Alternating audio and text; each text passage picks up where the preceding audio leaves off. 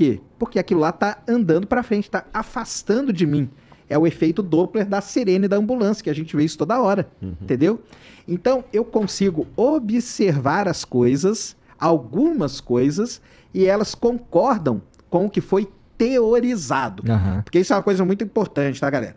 Ah, multiverso. E a teoria do multiverso? Beleza, cara. Teoricamente, ou seja, matematicamente, tá tudo ali. Agora, cadê a parte observacional? A gente não tem.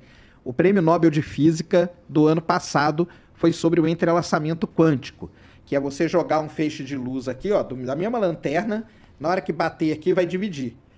Se eu medir essa partícula de cá, esse fóton, eu vou saber tudo o que está acontecendo com esse sem eu medir. Cara, o Einstein foi contra isso, todo mundo, cara, meio mundo foi contra isso. Mas teoricamente estava lá. O que, que o cara fez o ano passado? Ele fez um experimento. Ganhou o prêmio Nobel, cara. Uhum. Porque agora a gente tem a teoria e temos a observação. Uhum. Fechou. Então, o Big Bang, o que, que é o lance dele? Ele é, dentre esses modelos, o que mais tem evidências observacionais que deve ter sido realmente daquele jeito. Mas foi?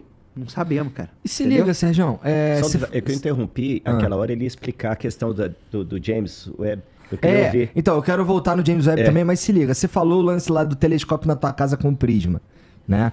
É, é, só porque, assim, cara, eu sou meio burro nisso. Então, assim, você tá olhando o, o, uma, uma, uma, estrela que uma estrela. tá longeão, aí você coloca o prisma, você vê que ela tá deslocada pro vermelho, significa que ela tá afastando. Isso. É.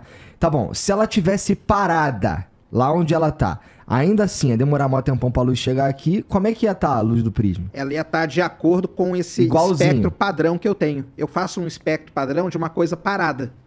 Então o espectro daquele ali, as linhazinhas dão daquele jeito. As linhas de absorção que a gente chama do espectro. Que é a cor, né? O espectro nada mais é do que a cor. Uhum. Azul, tal, tal, tal, até o vermelho. Tem o ultravioleta, que é antes do azul, e o infravermelho, que é depois. Uhum, uhum. Quando as coisas deslocam para o vermelho, é a sirene se afastando. Sim. A sirene vem. Esse o que quer dizer? É que a, a onda ela, ela foi esticada. Dilata. Esticada, ela foi para o vermelho. Se não acontecesse nada, tivesse tudo parado, o, a estrela ou a galáxia ia bater, o espectro ia bater. Mas entendeu? aí, mas aí assim, a gente usa esse mesmo método para saber a distância das coisas, não usa? Por exemplo, essa estrela tá a X anos-luz. Não é por esse mesmo método que a gente que a gente vamos chegar. distância, cara, é um problemaço dentro da astronomia, tá? Bom.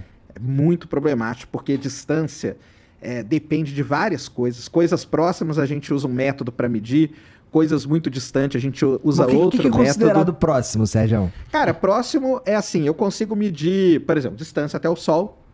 O Sol está a 150 milhões de quilômetros. Com geometria a gente mede. Tá. Até uma determinada distância, com geometria, é o melhor jeito de medir. Entendi.